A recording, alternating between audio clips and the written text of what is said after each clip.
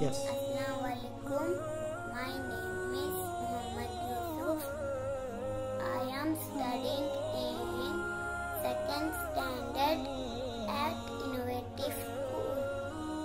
I like to play, enjoy hide and seek, cricket and football.